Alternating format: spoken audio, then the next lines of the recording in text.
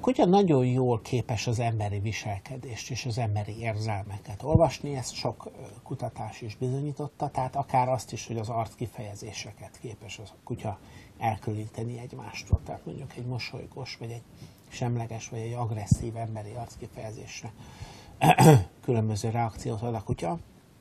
Ugyanígy egy agresszívan fellépő kutya az közben figyeli, hogy erre mit lép az ember. Tehát, hogyha mondjuk egy emberrel szembeni agresszív reakciója a kutyának, akkor bizony az, hogy az ember hogyan viselkedik, ez számít a kutya szempontjából. Na most nagyon kevés olyan kutya van, ami hosszasan szeretne küzdeni és üldözni egy embert. Általában a kutyák egy teritoriális agressziót mutatnak, vagy mondjuk egy védekezési agressziót, hogyha az ember ezen az agressziós zónán kívül kerül, akkor a legtöbb kutya nem fogja, hogy úgy mondjam, ezt az embert továbbra e, is háborgatni.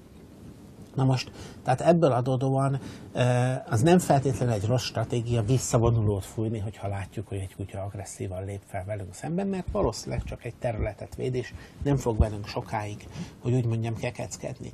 Viszont, hogyha nem tudunk távozni, mert mondjuk össze vagyunk zárva ezzel a kutyával, vagy teszem azt, állatorvosok vagyunk, és a kutyát kezelnünk kell, vagy stb., akkor egyszerűen nem tudunk visszavonulni, ez nem egy opció, hogy visszavonulnánk. Ilyenkor a határozatlan magatartás arra serkentheti a kutyát, hogy még agresszívabban lépjen fel velünk szemben, hiszen ugye a kutya szeretne valamit elhárítani, nem akarja azt, hogy vele foglalkozzunk, nem akarja azt, hogy velünk ott legyen, de most figyel minket, látja azt, hogy hm, rávicsorogtam erre, megugrott az ember, akkor folytatni fogja ezt a viselkedést. Vagyis igen, a határozatlan félénk magatartás az egy, hogy mondjam, agresszióba torkolló kutya viselkedés csak bátorít.